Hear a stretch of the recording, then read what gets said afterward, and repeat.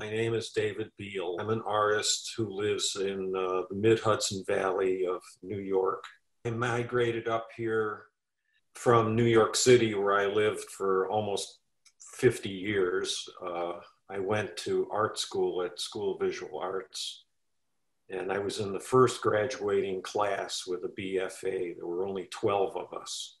I went to SVA, and I was a fine arts major and I did a lot of uh, sculpture using video and I made a lot of photographs and I did a lot of drawing with um, an artist named Will Insley. I guess what happened to me with the green drawings that are um, on PersonaLand site was I was walking through Central Park one day and I found a, a discarded um, Polaroid negative. And back in the early days of Polaroid, uh, it was a, it was a two-part system where you peeled apart the sandwiched piece of film or the print, and you saved the positive part, and the negative part you threw away. So, in those days, you could find all sorts of weird artifacts that were in Central Park. Most of them were pretty nasty. I found this Polaroid that was truly mysterious. It was of a, a family or some kind of a gathering, and it was the quintessential sort of snapshot that anybody in America might take. That became sort of the, the basis of the first drawing that I did in this style.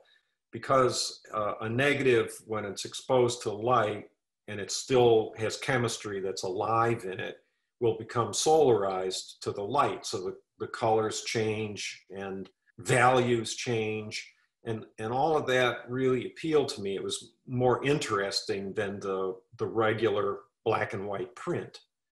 The, this negative became a whole thing to mine and to explore. And as I did more of these, I started to think that our concept of negative space that you learn in art history has really to do with the turn of the 20th century when um, impressionists started to discover uh, orientalism in, in the, the far uh, east. But negative space can also have content these drawings they're reversed.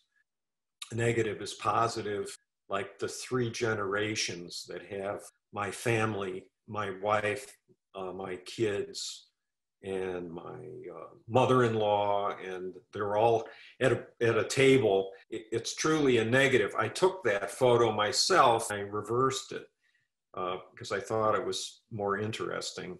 The subject matter for the drawings are things that they were truly found or discarded thing images but half of the photographs that are in this group are things that i are pictures that I made myself and then um, altered somehow. I reversed them in my head or I, you know, changed the composition and added things or took things away. They're uh, very flat and I tried to eliminate perspective. They're all made with colored pencil, uh, which is applied layer after layer, and they're kind of blended together with my fingers or my thumb, much the way that you would use oil paint and then, you know, the medium to feather shapes together, that blending technique, somewhat ambiguous. I think lighting really defines shape, but in my case, I really wanted it to obscure and to become more mysterious. I was sort of driven from a, an emotional state. I think it's the Kosciuszko Bridge, or I'm not sure, but anyway, it's in New Jersey and it's near Newark. But there was something about that that bridge at night that reminded me of my past, uh, because in Cleveland there's lots of bridges like that over what they an area called the Flats, where all the steel mills are that crosses the Cuyahoga River that caught on fire and burned on a bridge in 1969.